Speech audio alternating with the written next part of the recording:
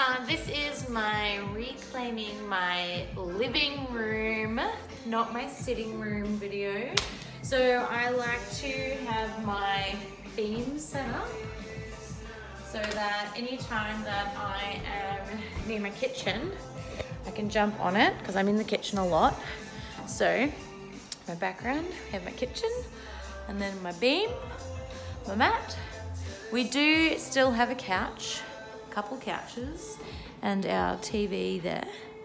But having the bar and the mat and uh, some playthings right here means that they're much more likely to get used. Both myself and my housemates find ourselves having a go on the beam whenever we walk into the room, seeing how we go, seeing how our balance is, and it turns our living room into a bit more fun rather than just a sitting area to watch TV. So in increasing our movement and our activity and our balance and our mobility working all the on all those things rather than just going straight to the couch.